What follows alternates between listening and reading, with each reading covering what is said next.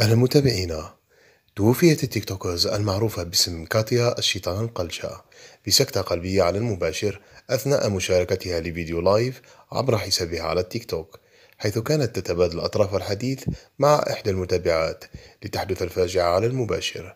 في البدء ظن الجميع أن الأمر يتعلق بوعكة عابرة ليتغير الأمر بعد سقوطها وغرغرتها وتوفيت على المباشر في بيتها. وعرف عن كاتيا انحرافها واتباعها الطريق الخادش للحياة ولكنها اعترفت أنها تابت لله وتوقفت عنه ولجأت للتيك توك حتى توفر لقمة عيشها. ولعل حادثة وفاة هذه التيك توكرز المسكينة تكون عبرة لباقي المؤثرات والمؤثرين بأن الساعة لا تعرف زمان أو مكان وأن خير الخطاؤون التوابون. فلنستغل ما بقي من حياتنا لمراجعة حساباتنا. رحم الله الفقيدة وغفر لها إنا لله وإنا إليه راجعون.